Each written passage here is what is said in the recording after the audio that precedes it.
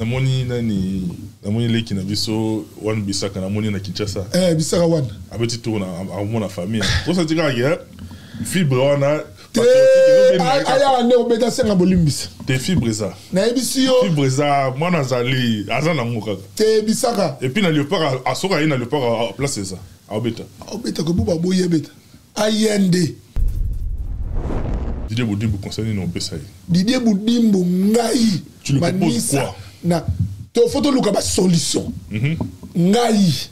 oh oza posa te nani nga posa Boudimbo personnellement amda Belgique personnellement je ne connais même pas moto ya bato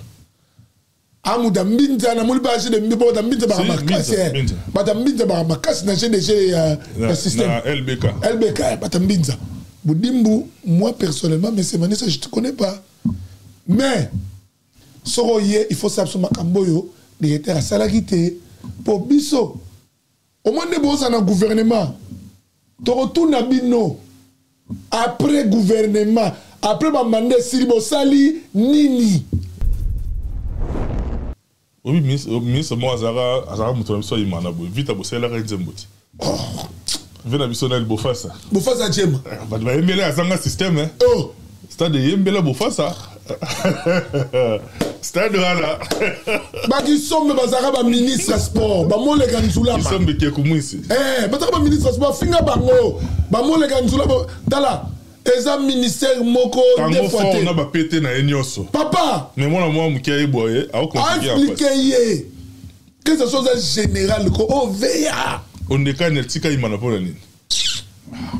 te mpo abongelaka ye ya mama te mazembe azwi euh, titre ya linafoot d'abord euh, c'est quoi tes impressions par rapport d'abord ya il y a issu il y a, il y a championnat Oyo et puis on va commenter après. Donc félicitations en tout cas dans Mazembe, tout le monde est trophée en Wana mais c'est quoi tes impressions nga nana nana pena critique à koemettre na organisation oyo namonaki awa etiaki nga mposa olela te pepe mazemba bimi champion mais championnat moko ya deux fois deux fois championnat moko ezanga ntina excuse nga naloba na bango epuis bato babimi champion ya lina foot botie bango na podium moko boye eh. papa elo mwa dimitri payeti boye bokomata sene personne ebukanipapa bakasi ya primise na comme wana d'abord organisation na yango ezalaki makasi na afrique du sud neti oyo eza suite ya directeur te ah oyo oh, oh, eza na mandat directeur oh, kasi mandat directeur ministre sport ti esalami wana bango na feko fati o mandat kabulo bokasi enene budimbo asali wapi oza bwa wa directeur te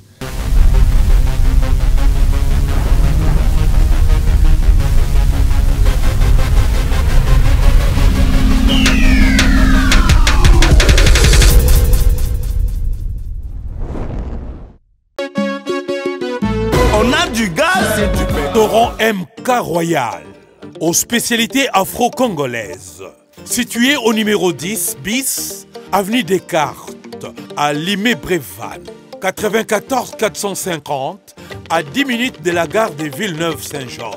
Ouverture tous les vendredis, samedis et dimanches, de 14h à 1h du matin, pour un repas convivial, dans une ambiance musicale bien tamisée. Rendez-vous au restaurant MK Royal. Réservez votre table au 07 53 61 0103 ou au 07 58 11 10 72 pour l'organisation de votre événement bien privatisé, baptême, anniversaire ou autre surprise. Bienvenue à la table de Michel Combe aigle royal, royalement vôtre.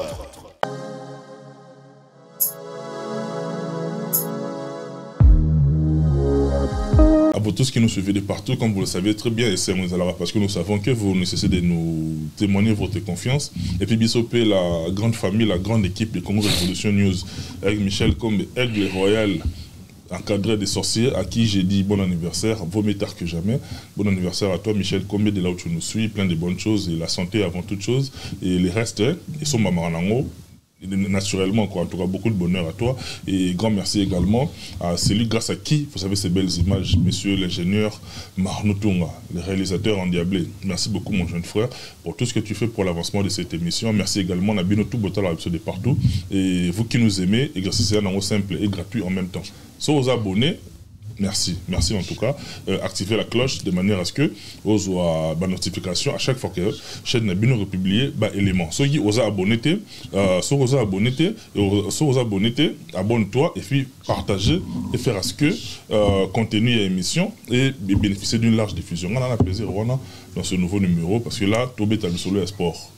le sport congolais, euh, il y a à boire et à manger, il y a vraiment en tout cas de l'actualité. Et Anytime tola tola c'est resto no mona musika. Ah si vois zaki musika yango yo déjà dans rassemblement et ben, C'est-à-dire non nous en tout cas j'aime bien le dire comme ça dans d'entrée des jeux, L'un de nous l'intention il y a qu'on se substituer en savant. Tu es sauté tosalaka kaka ba critique epuis na ba proposition parce que critiquer sans proposer ça relève de la mauvaise foi tokritikaka toproposaka mpe epuis totikaka mpe libre antenne na bino botala biso à travers le numéro qui est affiché na bareseau na biso nyonso na batiktok partout partout boemettre mpe opinion na bino bopesa mpe avis par rapport soki eza mpe contraire na opso tolobaki toyamba yango na faire play nyonso moi je suis très heureux dans ce nouveau numéro il est là avec nous toanalysaka na ye piston manisa grand type grand monsieur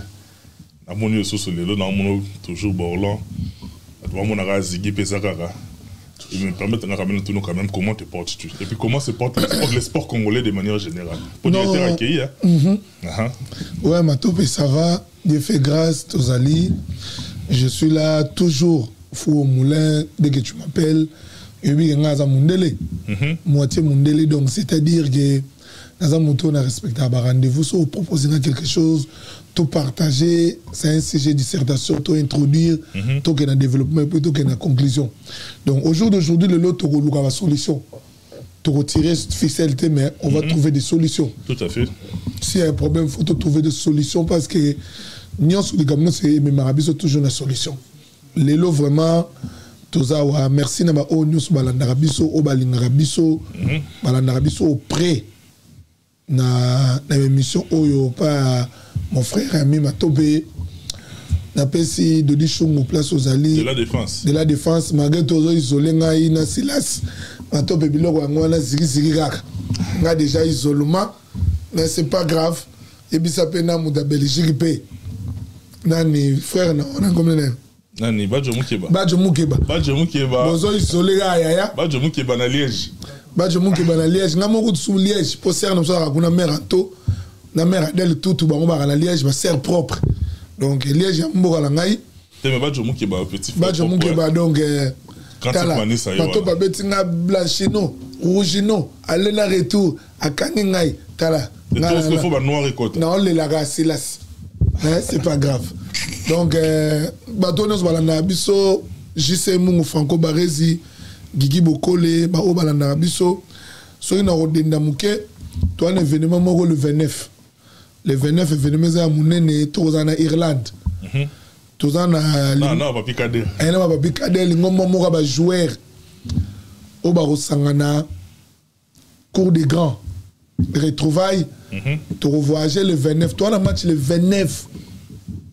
juin na irlande le 30 juin tokofete yango na irlande donc nabengisi bato tout retrouvaille eza bana londres belgique paris biso nyonso biso kozwa vol na orly tokokende irlande le 29 na tongo toyada na mpepo 8 heures toyada na irlande 15 heures tobeti match soirée le lendemain nango le 30 barabika nde olingaka eh. ekende ezonga abwaka ya mange mobimba mobimba président jise mungu abwaka ya mange et les à côté et les à côté abwaka ya mange plus les à côté kitoko za ndenge wana donc zigi original eh, les à côté ko papa si si si si, si. donc les plus les à côté tokozala wana gigi boko po tokende avion moko okay. okole ngai kader na clavier mauku na duce tozwa avion mona orly donc tozala wana na irlande donc bandeko tu ya irlande Mourinho bopusana Joël Zita boya tosangana tosala mwa plaisir ya le 29 le 30 indépendance ya Congo donc bato tout balingaka manisa mhm. anto bato ka makambo ya bana puis joyeux anniversaire na Michel Kombe mhm. napesi ye mbotama elamu mobala sunda Ah, vaut mieux tard que jamais. Vaut hein. mieux tard que jamais. En plus, l'obé laissé un combat, papa. Les gars est bien. Eh, l'obé les gars est bien. À boire et manger avec Michel, comme il a senti que, comme na, na fiafio. en tout cas kitoko nga mpe nga mpe na profite comme ça tout au début nasala clin d'œil na baoyo ya ngai en iris la billard certifié yebisa eric saint les kiné les kiné thérapeutes je vous aime beaucoup plein de bonnes choses na bino et puis je n'oublierai pas cdi partenaire à vie Jimmy Chimanga, porte de la, chapelle. chapelle. Yoram na CDI, partenaire à vie. Jimmy Chimanga, porte de la chapelle. Bande retour à votre épisode des partants, vous aime beaucoup. Encore une fois, Annie Iris, la bière certifiée. Yebisa Eric les kinésithérapeutes en tout cas merci beaucoup na ba conseils na bino et puis na batu na ngai ya batu na ngai vous êtes vraiment nombreux mais oyebi que ya nango makambo ya sport oyo topesaka mwa bambote vite fait boye eza bato balandaka biso papa ya biso balubo star balubo star balandaka biso vma na tele omonaka yaya nde nini information ye bakominikaka biso bakominikaka biso azwi mwa fuiti atindiki na bivina biso deme dimonokene azwi mwa image atindikeli yo okompane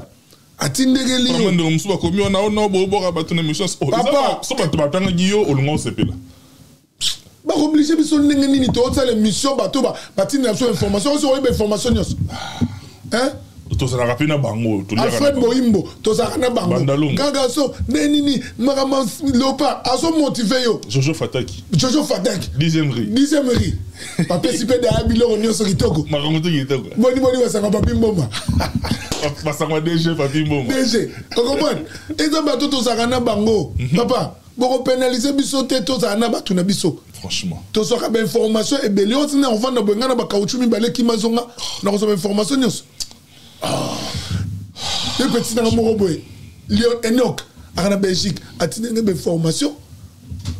atindi ngai bainformation hmm. nani oyo oh, nani joris kaembe aosala émission bazalaki na leki ya petu abetaka na liège wana bacubisika so bacubisa leki na ye aza latéral gauche balukusha leki na ye abetaka na verse aza latéral gauche abi na ye ah okoyebisa entraîneur te atala mpe kananga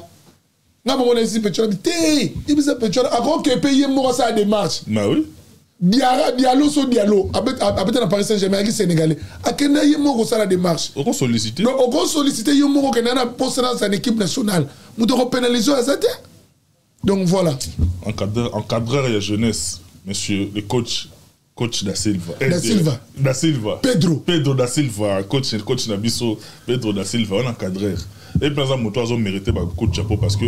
ala oh. congolais bana tourna mo na na na tournoi eza le premier eza non le premier na le premier na na le deux oyo ya tournoi ya Kevin De Bruyne eza wana ba joueurs pe baza ba superviser ba joueurs Pedro da Silva baza pe moko ya biso oyo to landaka vraiment de près ba activité nyoso ya académie parce que baza mingi te ba ndeko na biso oyo lelo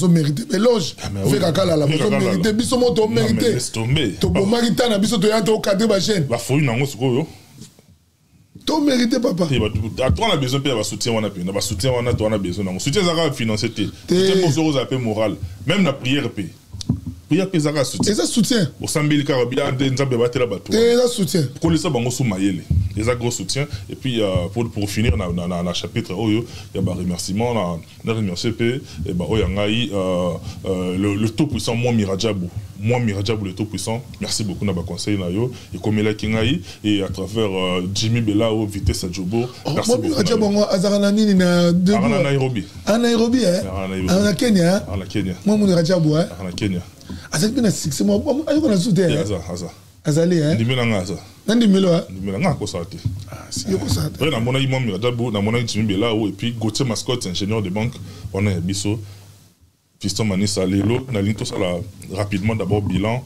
ya directeur Kabulo mwana Kabulo oyo bato biso tout ba sportif totyaki espoir sur ye parce que aza aza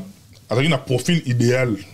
mpo na korelancer sport congolais d'abord c'est quoi le bilan oyo okosala par rapport ya directeur Kabulo mwana Kabulo mpo na directeur en tout cas bilan na ye eza négatif zero pourquoi négatif mais papa directeur ti azalaki ministre ya sport yebisa nga eloko nini oyo asali francophonie eza makambo makambo ezalaki deya yebisa nga eloko nini asali obimi na ministère ndenge okotaki okoti pamba obimi na eloko me ye otiki nini directeur atiki eloko te directeur na ndenge ya mabe te atiki eloko te biso tomonaki ke lokola balongoli eh, nani oh, serge soki nini konde balongoli konde batye directeur tosepeli moto ya ndembo directeur ayebi makambo ya ballon aye wana donk niasoso na niasoso donc asali eloko te epuis ayisu na maire de championnat ebetaka te serge kondi kuta na obetisa championnat ma ye abetisa championnat te yebisaka sikoyo ntina nini eyaki nini ntina directeur ezalaki nini directeur asali eloko te directeur aza parmi bato bazwa mpena temps suffisamment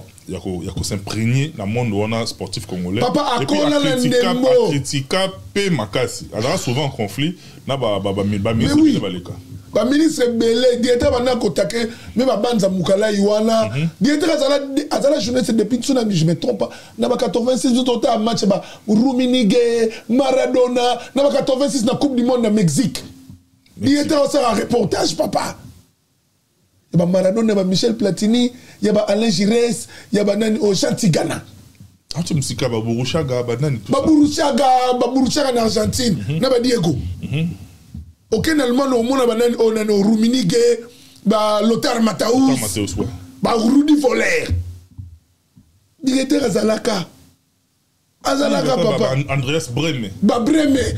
mpanza gauche andreas breme ah bato mpe mhm. oh otali koto omonake bafranco baresi na mila papa soki à l'époque déjà directeur aza directeur azalaki na ndembo wana biso babebe biso toyaki bana mike tobeta bale na balabala Dieter aza deya na ndembo 86 papa tota Diego Dieter azala bapesi yo siko place yango batyeli gato na mesa te ekomeli ye kilo akoki olia te azwi babiloko natye na poshe akei nde directeur ake boye ndenge yo olobi bilan directeur eza négatif c'est que directeur après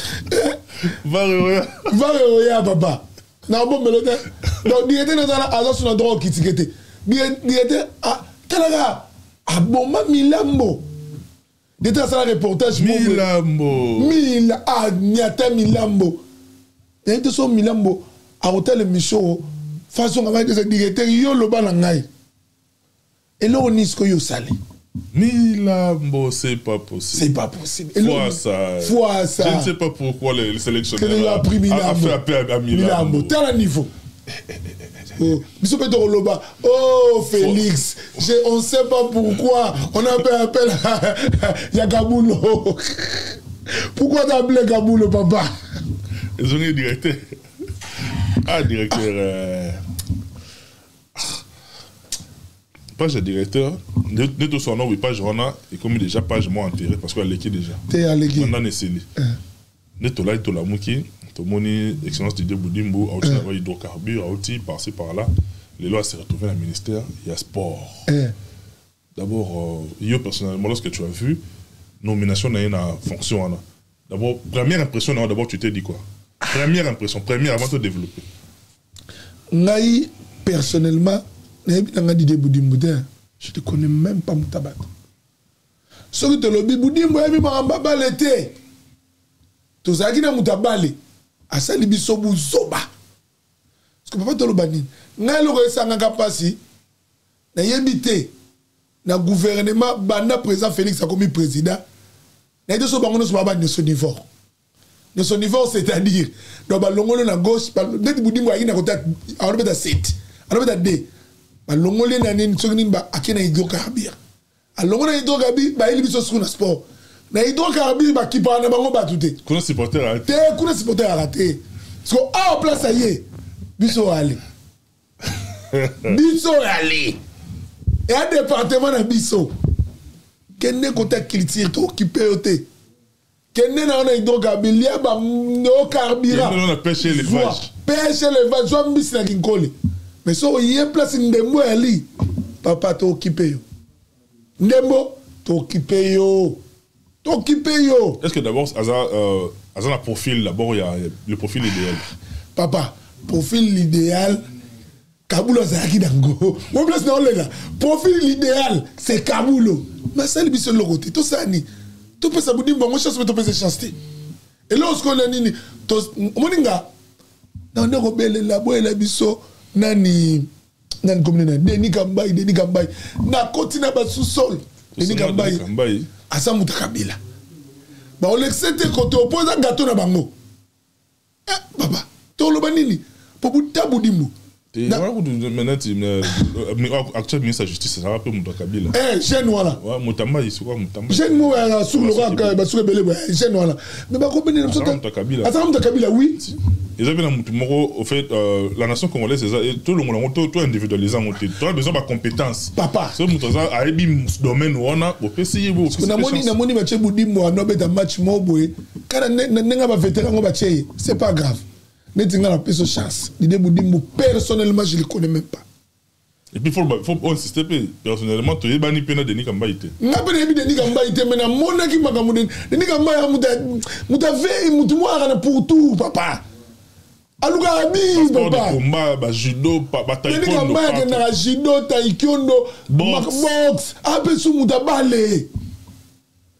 ayebi nde balukaka bi ayebi nde balukaka bi papa topola ye soko tikeli ba 12 minutes modeni kambe akiti fo mongete kota ayebi yango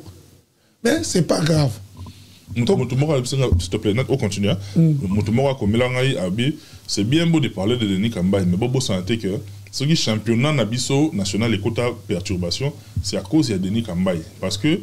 moto wana alobi selon ye euh, denis kambai bafacilita glissement ya président kabila yango ebrisa e, e, e, deroulement normal ya ba championnat nasali kaka ya- bango bato bakomelaka biso moto moko akomelaka mpena ebele Papa, abenganga mpe glissement- glissement ya president ya abino kabila dabi donc soki lelo championnat ya biso ekota mobulu calendrier nango ebeba c'est à cause ya denis Kambaye. calendrier wana ebeba ça fait combien de temps Abi, depuis, depuis 2016 2017 2018 bato betona 2024 soki lelo trebishaki lelo okwei yo kolamuka te mpo trebishaki lobi boboyanaki na mwasi moko boye mwasi oyo akei yo ozwa su mwasi mosusu te la vie de vie continue papa eh? oh,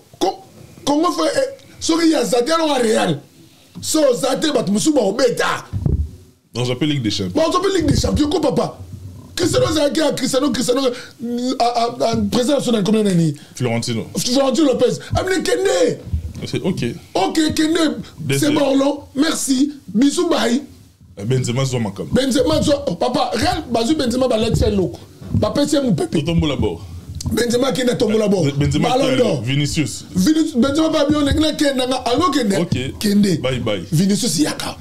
zwa makambo tobeti final te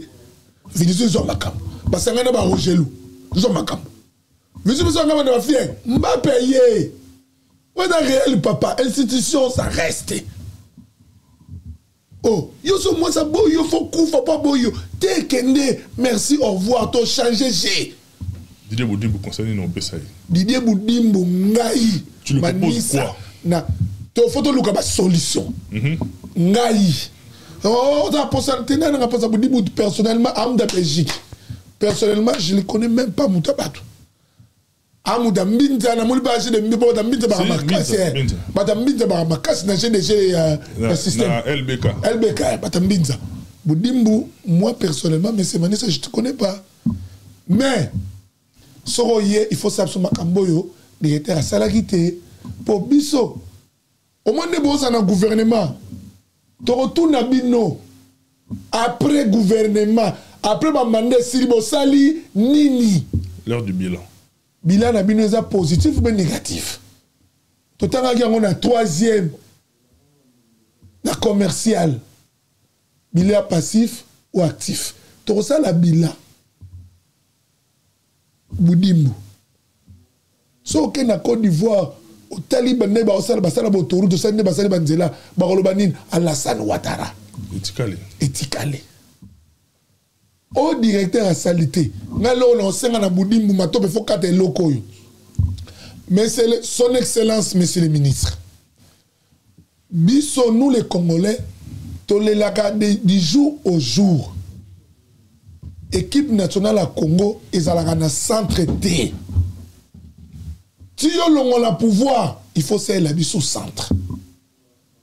ti ba o oh, o oh, oh, senga ne koki il faut salela biso centre sportif léopard bon centre coureur nga ona kena ba coureur ate pe ko so ba tubitu eza ya fédération eza ya léopard yango na lobi te au moins ne club fontaine ezali ba joueur ba ko saka entraînement na martyr te ba salela biso centre na ba logement na ba stade na makambo tout na kati wana defi na yo yango wana ngai napesi yo conseil etanke motuka ya ndembo naza mpe na mposa te ke ona ya kote te ngai naza moto ya bale place bale ezali fo tolinga ya mibale na baprovince mingi ya congo soki totangi ezalaka na kinshasa na lubumbashi oyo stade ekobeta ballon na yebi so na kosi oyo ekozala homologue marti kutu ekoma keba keba 20 mai mpe so tokende wana ndenge certifie mhm, voilà on comprend donc toaka na deux régions na kinshasa na, na lubumbashi katanga sikoyo etanke ministre ya ndembo papa faut créer biso ba stade lelo na ba Congo chapeau na ba Congo elala stade Lumumba et eh, ekangama papa beta ma oui chapeau na ba Congo beta na Damar Damar yako bo beta match moi so so na ka na chili quartier 3 na ba poto bambu papa vous comprenez a ah, please aza eli ya ba Congo na verifiaki groupe vital na ye papa natangaki ye auta bakota bambanza ngungu ti okoki kobima ministre te sans osala stade na bakongo te so tolobi bongo biso tolobaki opoto abata bakongo te fo betela biso de plan na bakongo okobeta moko na matadi obeti moko na mbanza ngungu una kazangulu centre ba mwanda ezali ba boma ezali mais ba stade oyo eza homologué il faut sala yango il faut sala stade moko na bandundu bamakila makila eza kuna bavutuka bavutuka faut sala stade moko na kasai oriental kasai occidental toso nani esalaki stade nani euh, oazaki ancien mm. gouverneur asalaki stade moko kuna mais stade yango leo natalaki bamage na yango bosuivi eza te entretien eza te stade yango ebebi ba ah, c'est pas même stade de martyr kaka stade de martyr na kinshasa jour ya concert ya moïse mbiye natali stade de martyr bakiti nango kobi salite mais qu'est ce qui se passe bagestionnaire bazalaka wapi bayebi kaka konkese mbongo ya baévénement mais entretien ezalaka te papa soki kiti eza bongo soki oboni boni toilette papa omoni congo bato balelaka misala misala eza ebele ya kosala na congo stade de martyr il fallait ezala na batravailleur basalaka maintenance kuna nsima na biso awa ah, nini eza stade de france stade de france omona mosali bato basalaka bayaka mpena mosala bayaka boulot baye na stade de france bakoti wana bana bamatch match ya chaque jour match ya chaque jour koni stade de france eza na nsima na biso kaka na mokongo awa eh? eloko bango fo basala il faut batya bato bando kosala na ba 20 mai baza na par exemple coordinateur ya stade aza na bato basalaka bayaka na ntongo basalaka entretien bazokomba bazobongisa stade congo eza pays ya monene tokobetaka stade na synthétique te papa gazo naturel eza opa tobeta match na synthétique martiri ese bobetela synthétique te football te wana te football te synthétique okola kwa luxe moko boye na kongo ah, papa na poto etika na bastade ya mike ya bafranc moise ya vite fer biso kutu obetana baterrain baquartier na gazon naturel oh. mais na baquartier en tout cas eza koboya kosala entretien le problème eza nini matope il y a beaucoup à faire na congo mutu na mutu fo asala kaji na ye mutu na mutu azwa place na ye ya kosala budimbu loko oye awa bazalaka na facilité ya kofinga bato ibenga bafinga ya pleine conférence de presse ah, ibenga azwa ya ye azongisa akoka te ibenge motema esuka ibenge motema esuka mpena arambonalandai video mo baoloba na yo son excellence a vie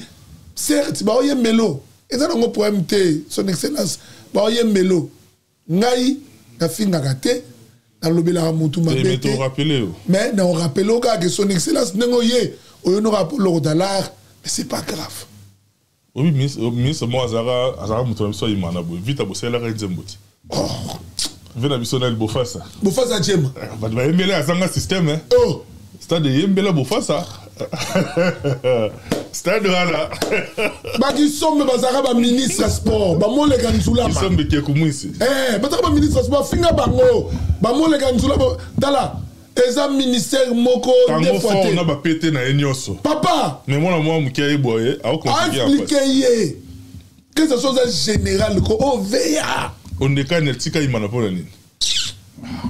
te mpo abongelaka ye ya mama te abi nakoka te atiki mana abi nalongwe nanga sport sport mare ya ndembo lelo biso toya bato oyo tolingaka ndembo a fond dedans soki ozwi place na biso certes budimbu aneka budimbu aneka pire moto ya président félix c'est pas grave atie yo nde place moko boye eyaka na pression ve très sensible sensibilité eza wa déjà faut pesa biso plaisir faut togani na match ya le 6 topesi yo devoir hein? donc match contre sénégal na match contre togo faut tozwa 6 points hein? doa de ekoma ma ministre emise eh, fa sola sola na fédération sola na fédération bosala biyo bozwa so si point toboyi makambo ya cameroun oyo kuna eto abomalaki na moi bayokani lelo bayokani bayambani te mais sikoyo fédération omoi eloko eza nini fédération na ministère eza deux choses différentes mm -hmm. ministère bokoki koimpose fédération te fédération aza organe technique oza organe moko boye libanda epuis fédération nde moto akoluka entraîneur mpo ya kopresente bino ministère ke ngai nazwi motu boye bowanda ofuta ye leta moto akofuta ye leta moto akofuta ye siko ministère ateke bino boya na motu te ingérence wana elongolisa je crois guinée sera coupe du monde ya 2002 guinée azalaka na position bien je crois guinée si ma mémoire est bonne likolo kaka ingérence ya ministre ya sport aye asanctionna président ya fédération ekomi conflit conflit fifa ye asimposer ya bolongo te me kasi mpo ministre okoki kosimba moto ya fédération te fédération eza eza makambo département mo mopanzi okotouche bango te lelo son excellence budimbu papa wana carte il faut sala makambo oyo directeur asalaki te oyike navandi na palais napesi masanga mo claude claude kwete chapa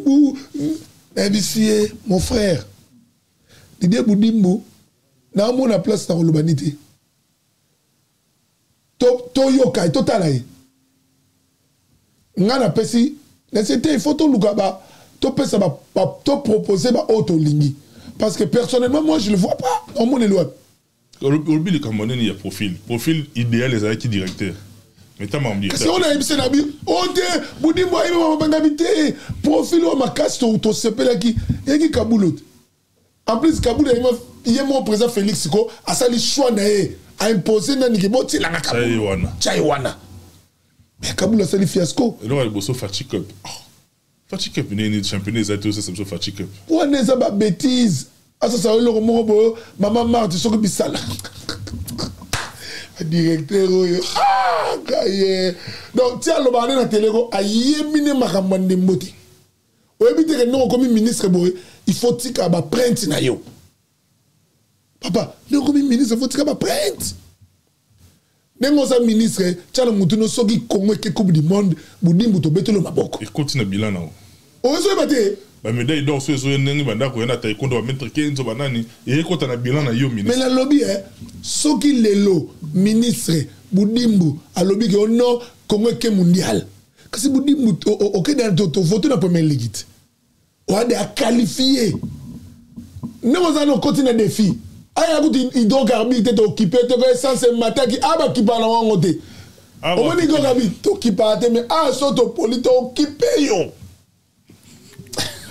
boteka eza bakipa bato mabe ah idoka abi tokende ma message wapi bopotala kuna bosala na mama message ya politiki nakende ngwa awa ye na ndembo totyaka motu pembe na yo ministre ya ndeni tobona lobi agaye son excellence excellence modimbo biso biso toza kaka bacongolais basportif congolais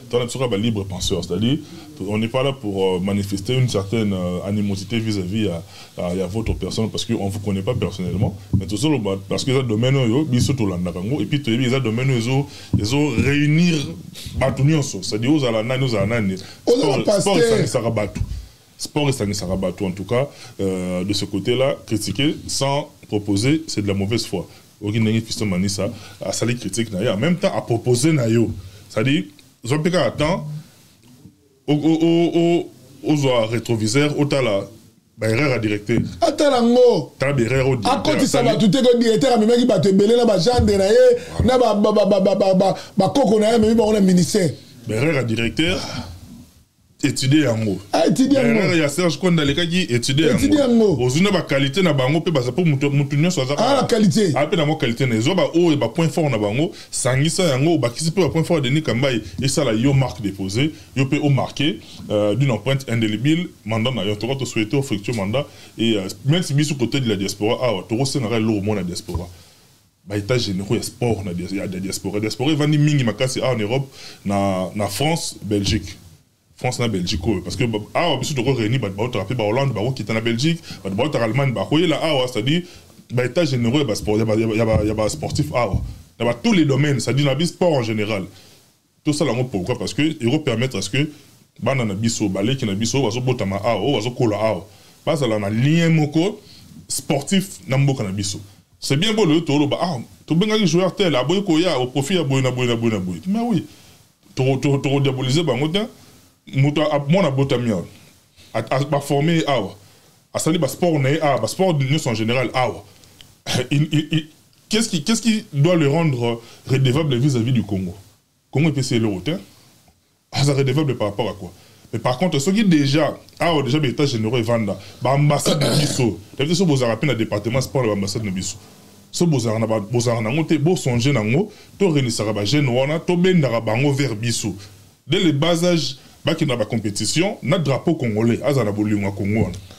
matope soki nakobakisa oui, na deni na eloko mona azwi mwa idee son excellence monsieur le ministre eh, budimbu wa gn sala effort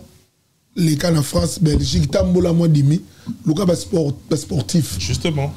basport de combat badandembo luka bango yango na bengi beta généraux beta généraux oyoka mpe bato mpe voilà bajinoko namoni bajinoko basanganaka babengisi engati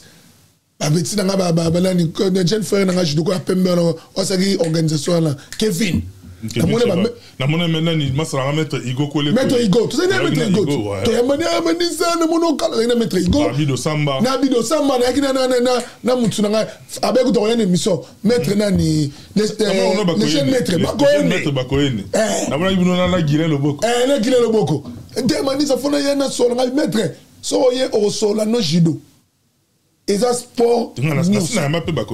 voilà donc tozalaki na bango eyaki fete ya bajudoka mhm. kevin basasi ekoya bata kasavubu oyebika biso mpe kasavubu mpe ere moko babengi ngai amanisa foya na ye na vandela mo 30 minutes toyambani bametre tozwi bafoto ah, nasepelaki go ya mbinga manisa tokutanaka na facebook esali nga plaisir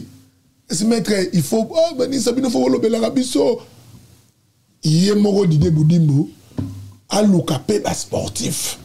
en diaspora voilà. amona bango asolola na bango ake mpe na belgique asololi aluki mpe basport bametre mpe so budimbu aye bokenda na biso mpe te ke oh, neti okota te te mabe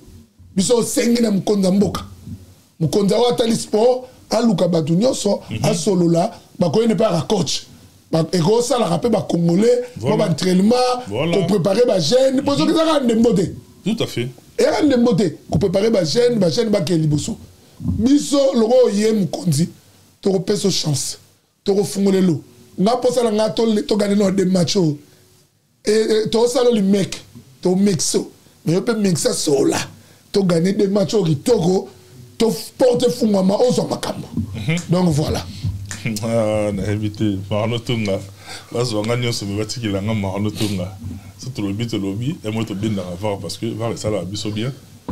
Sisto Manisa grand type li la faute euti kosila resultat est là TP Mazembe azwi euh, titre li na foot d'abord euh, c'est quoi tes impressions par rapport d'abord ya ya issue ya, ya championnat oyo et puis on va commenter après donc félicitations en tout cas na, na TP Mazembe tomoni trophée yango wana mais c'est quoi tes impressions nga nana nana pena critique à koemettre na organisation oyo namonaki awa etiaki nga mposa olela te te mpe mazemba bimi champion mais championnat moko ya deux fois deux fois championnat moko ezanga ntina excuse nga naloba na bango epuis bato babimi champion ya lina foot botie bango na podium moko boye eh. papa elo mwa dimitri payeti boye bokomata cinq personne ebukanipapa bakasi ya primise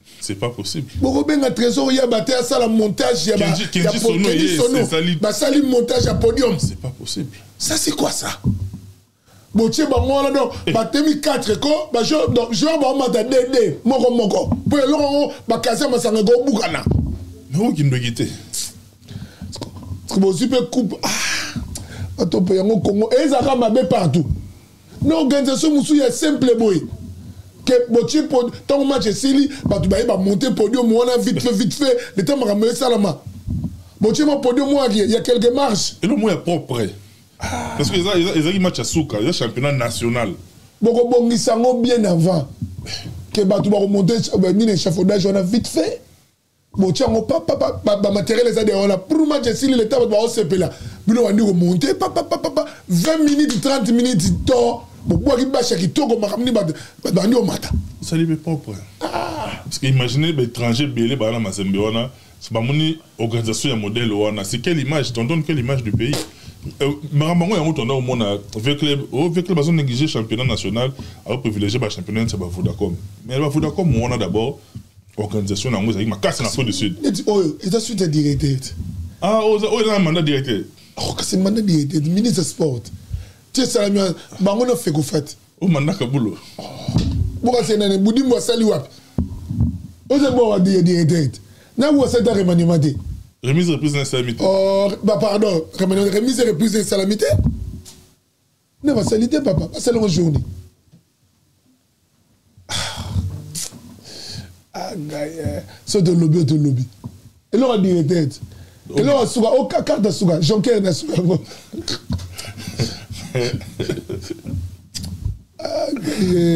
felicitations te mpe mazembe championnat yango esili mazembe azwi trophée na ye mais euh, tosouhaite kaka en tout cas côté organisation bosonge na eloko wana parce que c'est, c'est, c'est, c'est, ça envoie de l'image du pays et ça image ya mboka parce que n'est-ce que mazembe abeti boye azwi trophée oui mazembe premier deuxième troisième mpe azali c'est quoi l'enveloppe ya cagnotte bazwi ba gagner combien ba gagner combien ndenge ba ne ba bimi ba bazwi combien en terme ya cagnotte bazwi combien eloko te c'est-à-dire imaginer ba président ya ba équipe ba dépensaka ba mbongo ya ba poche na bango po ba ba subvenir na ba besoin oyo bandaki baza baza subventionné te l'état tye bango poids te et puis à la fin azwi kaka trophée azwi trophée oui et puis après ake nango ake nango sikoyo donc ake kaka coupe d'afrique mpo azela bafrais d'émission mais ça se fait pas quand même il faut tozala sérieux eza encadrement jeunesse l'état l'état congolais aza wapi l'état est démissionnaire ya namonaki nani jeune moko aepoque toana kin na individuel na judo moto aganye na judo abimi abimaka champion de kinshasa na judo bapesa ye trophée nini bapesi ye pendule donc montre ya monene ya ndako Ah. Eh, bapesi ye pandile ya monene na kati ya carton bapesi ko bapesi moto pandile asala pandile nini ah c'est pas possible bosala biso da boti kosala biso boye nataki bino pardon bokela mpe biso mo mawa mpo ngai natalaki nako na du mal ya kotala bamatch na biso parce que bamatch na biso ekoma mpe mwa bizarre trop bamatch moko baforfait kilikili Equipe mususu ba na mbongo ça déplacement te ça se comprend l'état zo subventionner ba équipe wana te mais tango ba komi na suka boye mazembe eza lokola somom eza lokola ba Real équivalent ya Real le Real ya Congo eza ba mazembe ba Barcelone eza ba Vita ça déjà ba niveau wana so déjà bango na niveau na bango to mona mambo to mono bosko ba bato ya se B'equipe ya parc. Pamba. Mbano nango eza nini? Mais sikoyo b'equipe na biso pe wana lelo. Ezala Vita, ezala Imana, ezala Dragon, ezala Renaissance po na pona ba supporters, ezala ba Lupopo, ezala ba nani tout ça machin. Biso pe na Mbandaka to wana equipe na biso moko, deux equipes ya biso ya Mbandaka ti soki ekenda wapi? mokanda de mandaka na sibe toa na deux équipes amandaka kosekaaolingabango fort alika biso kuna ekoma stade mpena bobobeta match boye mboloko aleki mare moko ti bilanga corps étranger corps étranger aoleka ne atie na nini na moto aoleka ne kolo na ye na moto arbitre pia pia pia pia bokati corps étranger aleki donc stade ekoma mitraille siko babiloko wana tout otala yango on se dit qu'est ce qui ne va pas qu'est ce qui ne va pas donc na 2024 mais eyaka bakomi mosusu ya congo eyaka lokola nde avant indépendance mauvaise foi manque ya bamoyen to tokosala yango na nko bato mpe oyike congo mpe ekoma ndenge bamboka mosusu eza développe fo biso todaye mpo nde nataleli nde baomemela pamba fo biso tokufa frère nde namoni eka ndenge kongo ezokendeli mpo deya na nzela deya eya kokoso tala kongo mboka monene bongo bwaka na nzela moko principal moko boulevard lumumba principal moko des années des années mobutu akenda kabila ye ville aéroport eyaka na nzela moko yebisa nga botonga ngo mokolo nini eloko ya président félix mpe eke a ah, tokomo konte yango lokwa bapio ya dame kala mingi te tikitya tikitya oyebisa biso nini c'est ça frère namoni euh, todéclaraka likambo ya basalle couverte arena yango wana mpe epesi déjà forme ba salle couverte wana eza bien parce que ba discipline ebele ba losala ma wana papa mais ah. entretien nango bokoki kosala arena entretien nango fo ezala bosala ba route à grande vitesse comment congo ekozala mboka monene bongo eza na ba route à grande vitesse te na kinshasa bwana ni périph ni rocade ni autoroute yebisanga bokobetisa coupe d'afrique ndenge nini liaison baprovince nyonso mpo bato bakendaka na apart hotel ya kitoko oyo bato bakovanda ezaka na kisasa na lubumbashi na lubumbashi mwaka lubumbashi e mhm. bobetisa bamatch yango ndeye nini hotel moyo na bandundu kuna na bi ezalaki ya nani ya muzitu je crois hotel na bandundu ya bien ezaka hotel ya pdg yave naka anderson mhm. ah mais oui oyo ngai namona hotel na ye ezalaka na bandundu momi moko momi mo abeta asalaka video natalaka mboka monene bongo bahotel eza te baterre eza te nzela eza te yebisa ngai sikoyo bobeta nde mbongo ndeni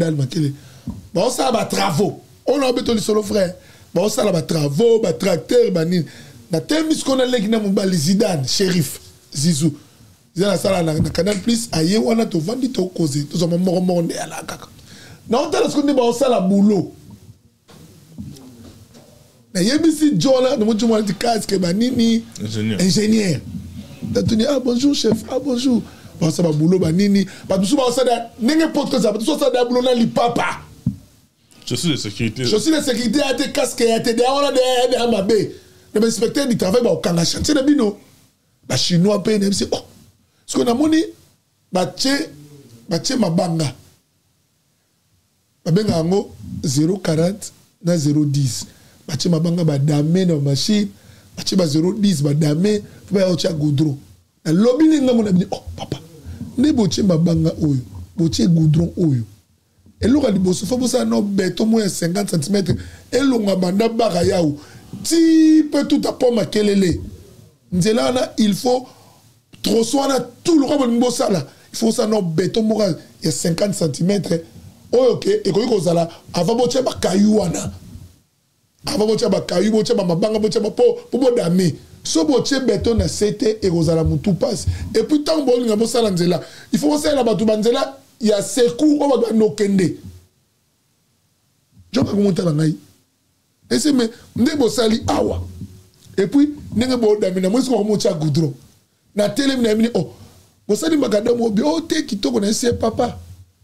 Macadam nioso na yebite mais o nga na mona na France eza musala na tangela classe ekoki kozala jamais droit macadam tout ekozala droit te macadam nioso ezala perif matope so otambola omona yango etengama mai bambula ebetaka exactement mai e, e, ekovanda te normalement so bino bosala yango droit tya na motu nyonso coulage nyonso ya beton kobanda suka ti suka boye bozala na, na, na, na mesure te ezalaka na mwa defo moye mai ekovanda so mai ekoma ovanda yakomona bamakadamu na bino ewumelaka te mai eza na force makasi difeske bavoitire eleka esani efina moi ya makasi gudron esani eselage omoi teke bozonga na bino kaka ya kobongisa omote bozonga kaka ya kobongisa nzela nyonso basalaka lokola bosa bakanivo na cote droit il faut botya koto boza na 10 koto bwana mwe 0 makadamu na bino etengama soki mbula ebeti esekulaka na kanivo bokosala makadamu droit te ayokasi ah, mambo batanga yango te pratique ndeko ya place ebomaka bato nalingi tozonga domaine yango ezalaka par anecdote hein. anecdote vite fait kaka nzela banzela mpe ezofaire partie ya développement ya développement oh, mboka sport ya avancé mais banzela mpe efo ezala mais ntango toloba tobetisa coupe d'afrique eza nzela kote linafoot linafoot est ce que mpo équipe ekende kisangani fo azwa avion mpo équipe ekende bandundu fo azwa avion fo azwa avion papa angola kaka pamba banda lufu ti luanda bisima kitoko ah. angola nde baya basokomi na frontière wana lufu otali ngambo ya angola otali na ngambo na biso le jour et la nuit vie esili na lufu okonfirme yango oh, mais nazoyebi biso na lufu so otali kote oyo ezokende luanda omona mabisi zigi oh. papa moni bafliti biso e, e, ezalaka na bapona e, eutaka babercy mhm. yango ezalaka na longola te ozwi yango futi 20 no mobimba mobimba elongoli yo banda banda na, na, na, na mako babenga yango mako ovandi niakesa okutani mpe na wifi na kati kitoko Quelle état son Quelle état son Tout son nom à topit. Mais c'est yé yé tina lufu et tiki binouana. Allez, bon, suba. Babylone amno tout passionné même notre Zaïre. De ce côté kana elle na biso. Mutu passe même notre kisasa. Nzele baby ba papa. On a émission que Nzela Luanda oh ou tarangola ko ah, bo utima boye boye boye bo boleki bakashito boleki bamboka la tout. boyebani bakwanda kubangu ndenge etengamaka koto eke noki koto etengami ekende lufu evanda mboka evanda do auti malwanda ko boya papababi meme administration otali babiro eza na frontierelo boya vrma ko boleki rio loge boya boya esalaka bifiltration moyo oyo ekei eke soyo eke noki na frontiere moyo ezalaka so na matadi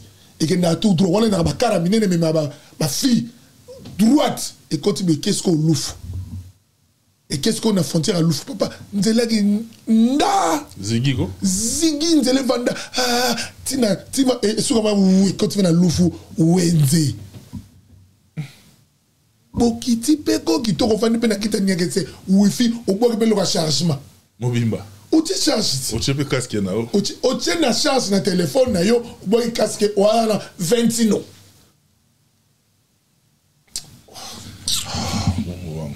namoni nani namoni leki na biso wan bisaka namoni na kinshasa eh, bisaka wan abeti tour na amona famille osatikaka ke eh, fibre wana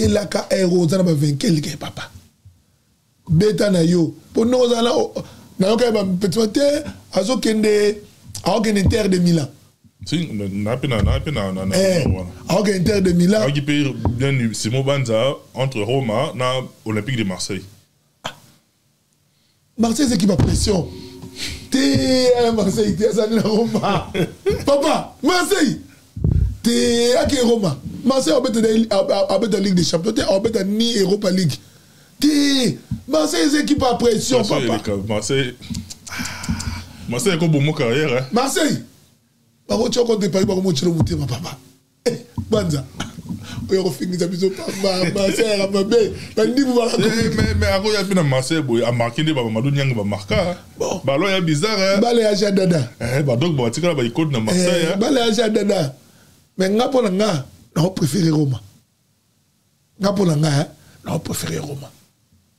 roma obeta ligue hein, amiso deuxième na ase wana bisaka na inter de milan eh, babeta ligue de champion susu inter de milan mpo soki inter de milan babeta ligue ovandisa mwana te hein? te o oh, auti ah, manchester papa natali contre city ye na doku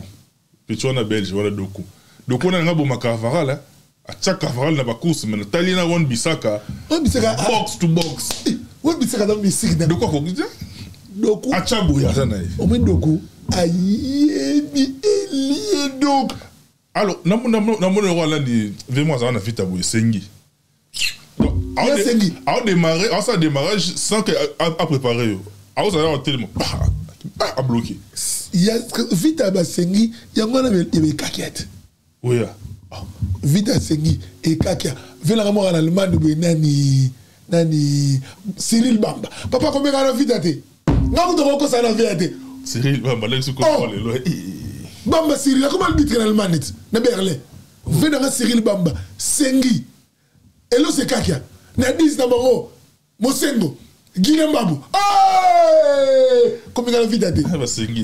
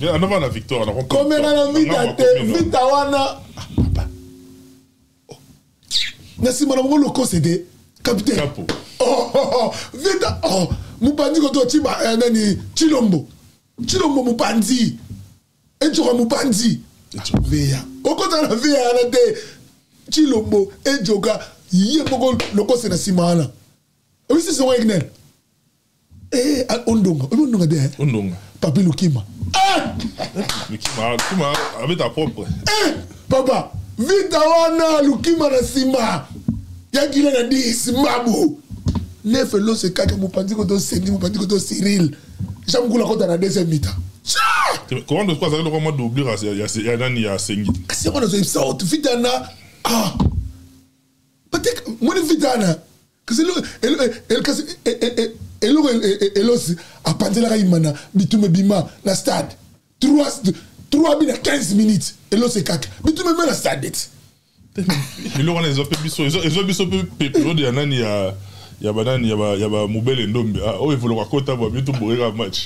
3-0 na première mi-temps eh! evoloka koti ya bi match esili elo se kaka ya weya 15 minutes 3 plans bitumba bima na stade sengi kotobamba cyril elosi ekaki na nefo ba benge weya weya le capitaine lokosi na nsima ya pati nango na weya na ba match mwa vita as bantu ya mbula boye eh. weya chara bi match yango bisa mobulu papa chilombo omoni vita ko nga kokosanga na veya te na bandi veya banda 86 mata papa naka na veya bana na biso oyo baoya na équipe nationale omona biso pratiquement na suka mai na olinga quand même topesa topesa bango coup de force bana oyo bana c'est peut-être façon de parler mosusu mpe bana age ya bana banoa sadiki ba age ya bana na biso oh, bana 19 20 voilà donc nos enfants nos jeunes frères oyo mpe lelo bazo manifester volonté ya koyena équipe nationale on n'est pas là pour les décourager c'est-à-dire eza kaka qui aime bien châtie bien mposa moto eza tellement Siko soit euh, osante ki moto wana omanke ya mosaka oluka otitiye ye mais loin de nous l'intention ozala mauvaise foi nous on est là pour les encourager to souhaiter na bango ke euh, soki fibre wana patriotique elati bango baezitaka te eza teke tozelaka no euh, soki le part se qualifie nde bato base manifeste non bandeko ebele bazwa mpe riske wana moto lokola noa sadiki aza na 19 ans belgique ezo réclame ye mais animi ye moko abeta pour l'équipe nationale parce que heure banoa sadiki bazoya bajeune ebele bazoya na équipe nationale po baza na confiance kwa kuta organisation yango tolobe likambo ya Didier Budimbu c'est-à-dire azui bâton de commandement place oyo directeur atikeli biso soki to regresser parce que atiki biso deya bien te soki tozongi susu bapa en arrière eya lokola todindi jiba aloba celui qui n'avance pas recule dans le trou tozonga te mais tozonga po todinda C'est-à-dire tobebisa eloko wana te oyo eza déjà construit christian manisa tokomi na suka nalingi bandeko batali yo obisa bango mwa parole ya espoir et puis opronostique mpo na match ya lobi real na dortmund wana tokaba wana pronostique kaba wana baoyo yayo non ngai napesi bato tu mbote epuis nakoloba na bandeko oyo baolanda biso nga esalaka nga mpasi ems omoni ke oto tiraki ficelle mpo na te soki okolinga kongo te okangi loka monoko ti ferme ta bouche okolinga kongo te ovai no nie babengi yo na course obi te na oya te na oprofere france koleka tolobake ngai nalingi kongo te nalingi france te tobeti ondiba o komite ya mabe okomprendre vanoka nie eya teke tolingi bino te tolingi bino boya boya tokotire bino ficelle te borespecte mpe kongo kongo ya poubelle te eswa mwana na yo arejete kongo eswa biso toya poubelle te nous on est des congolais biso toya bata football na sang epuis toya bahistorien football bokozubaka biso te ozo comprendre biso tolingaka ndembo yango moni tolingi na bino boya en tout cas matope bato oyo nyonso balandaka biso napesi bango mbote napesi ve na ngai ye moko ya shole joueur ya matonge azalaki na, na lopaka 98 azalaka na belgique grand joueur ya shole napesi yo mbote grand frère aza peti ya baoncle na ngai diwaze mpe shole napesi yo mbote napesi lobi toana matanga azala na lopa na 98 ah, na baluto na dio morceau mhm. na babwana ye ayaki azalaki na défense oyo azalaki bwana ngalula baobeta na na nani oyo oh, na na nani na na venda nga nani obeta na Portugal na komne nani Congolais medo 5 4 bwana ngalula Congolais medo mupanzi ko to venda nga mobe ya Dani Ngombo mbandi koto kalao apa kitoko mie tere wana basaula na ndinga mbote ben saula bavandi na ya toba mopanzi koto kinko mopanzi koto ndinga mbote deuxième mite bakoti mpe na ngai nani aboma maroc lutona dio morceau ye moko santabara na 10 ovandi na 9 wana ka bongo deuxième mite bobati akoti papa ekipe wana 98 na liboso godis epuis godis azalaka reserve moto ayaka titulaire elengesa azwa choc akodisi mama ya nsiatami milikani ye mpe bokoko ebele te oezaki tswa mina oezaki tswa bokoko ebele ayaki nsima velengeza azwa choc akenda akenda o oh. 98 88 88 pardon lopar wana ezwa coupe te bakenda kutu oto officier entraîneur bakendaka ti portugal te se autoficher eh, ko entraîneur ya kala ya leopard eh, donc lobi samedi tokokunda le petit nsumba donc bato tout oyo bakozala ngai deya so na sisi na matope naozwa nzela naoke belgique mamo nzela donc lobi tokokunda le petit nsumbu grand jogo nabengisi bafootballeur tout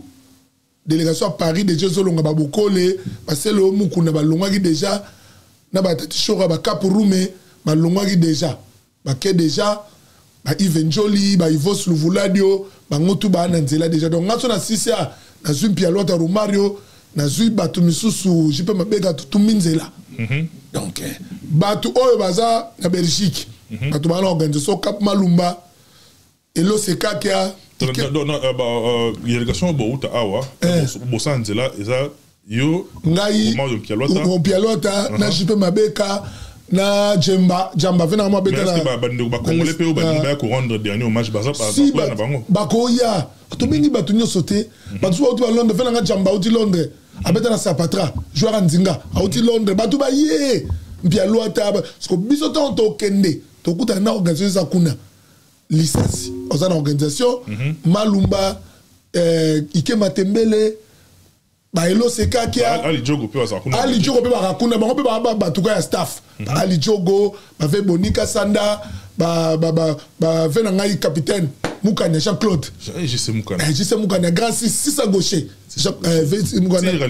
tika libanda kare eh, boule yet eh, ve nanga ive sende ataka puissant force plus force égale esende numéro 9 ya puissance ve nanga ive sende ba ve nanga shole ba banani kapi inunu, inunu. napesi mbote kapi azala capitaine banda na libuma mama pichu inunu capitaine ya inter capitaine ya dragon capitaine ya motema pembe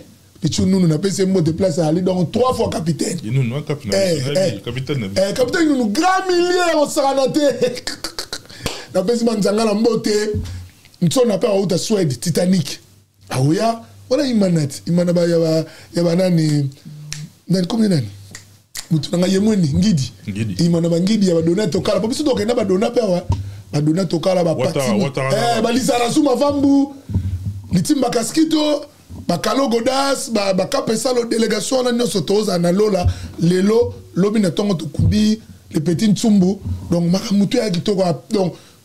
église eza na 10 heures enterrement eza midi après midi na 13 heures organisation esalami tokovanda na mwa place tomela mwa moko cap dide ntimba na baya rigo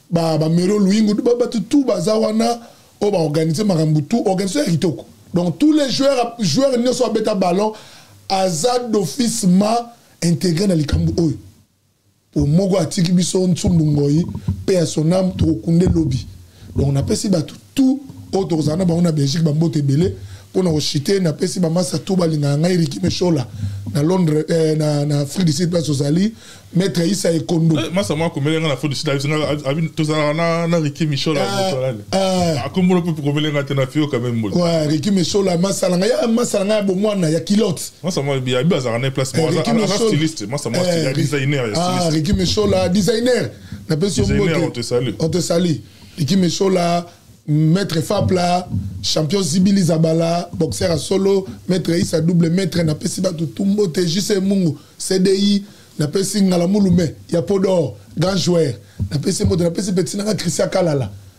l'argent plus beauté napesi yo mbote place oali na ah, zaire alubo star napesi yo mbote jeune frère na ngai te wana babata ndembo batope napesi mamubert bambote ebele napesi masalanga glari longa pesa madame mbote place ayali petite sœur napesi na bana tout napesi fashion ngokene tonton ngwanza bato tout oyo balandaka biso na bemission enok na belgique jeune frère place oyali bambote ebele maître isa apesa nana mbote ebele madame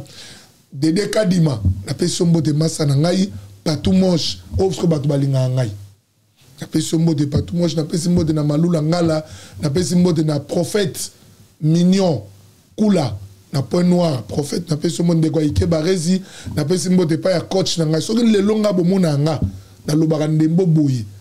eza grâce ya coach itashi musemvula bato mpe nalongoli linete soki lelo yo obengaka ngai na bémission soki lelo bato bana belgique ba jean claude mukania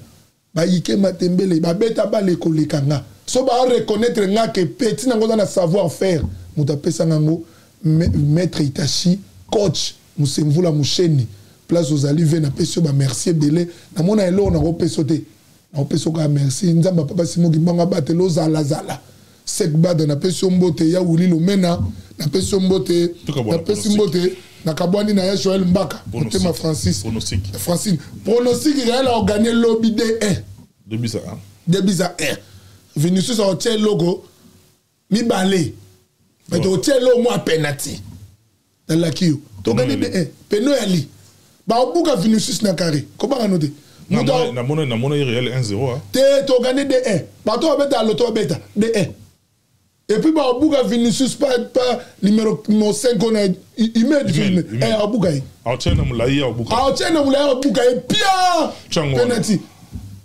kobanda na 0 ti na 20 penalty ya ali